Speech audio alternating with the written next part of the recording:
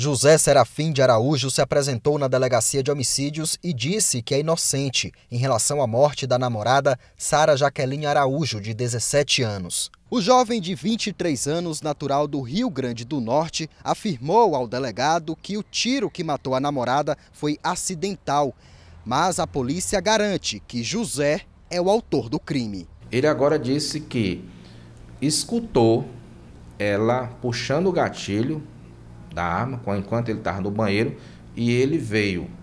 Quando ele veio, tentou tomar a arma dela e a arma disparou. Também é mentira porque foi provado que não tinha nenhuma característica de disparo secundário, ou seja, região de tatuagem, esfumaçamento ou mina de Hoffman. O coordenador da Delegacia de Homicídios disse ainda que José tentou mudar a cena do crime, deixando a arma em cima da cama com o objetivo de transparecer que Sara estava brincando de roleta russa. Ele foi pego pelo excesso de zelo que ele quis ter.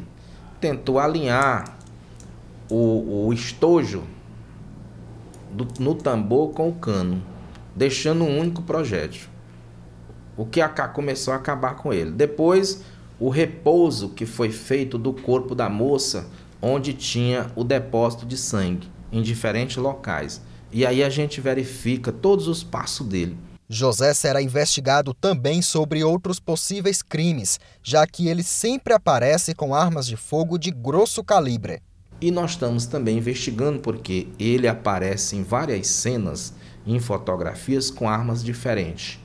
Então, nós já estamos investigando outras modalidades de crime que eu não posso falar agora porque ainda estamos investigando.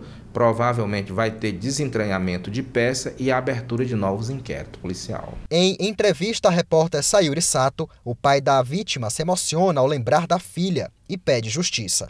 O senhor tem medo que esse caso fique impune? Tenho, com certeza.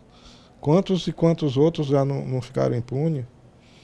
Eu peço às autoridades que vejam isso com mais, mais atenção, que não deixe ele, esse caso ficar impune, não. Porque é uma vida.